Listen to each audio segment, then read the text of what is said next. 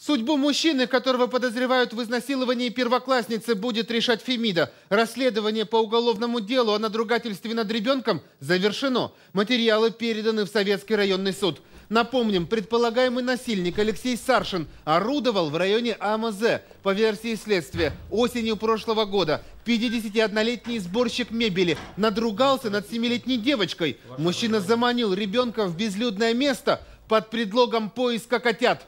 Был проведен ряд оперативно-розыскных э, мероприятий, а также следственных действий, по результатам которых было установлено лицо, причастное к совершению данного преступления.